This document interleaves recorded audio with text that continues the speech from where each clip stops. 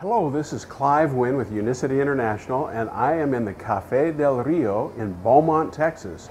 We have sneaked down to Texas to present a $15,000 check to Jamie Utley.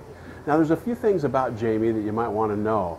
She was suffering from hypoglycemia and she felt like she had a food addiction. She never could lose weight. She couldn't do anything about it. Now that's completely changed. She says she's no longer addicted to food. She also had high blood pressure. Well, now her blood pressure is 110 over 65. She feels like she has a whole new lease on life. She'll have about 10 family members with her. They know she doesn't. Let's have some fun. Here we go. Hola. Tenemos el cheque. Traemos el cheque para ustedes. Hello, everybody. How are you? How are you? I'm good.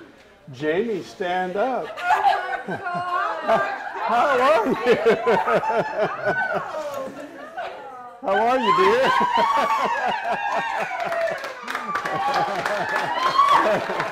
Fifteen thousand dollars.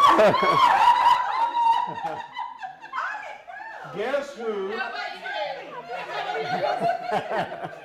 Guess who our, our grand prize winner of our 180 day Get Slim Challenge winner is?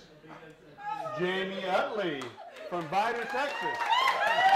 So she had great results. You lost how much weight total have you lost now? 83 pounds. 83 pounds she has lost on that little teeny frame. Oh, That's amazing to me.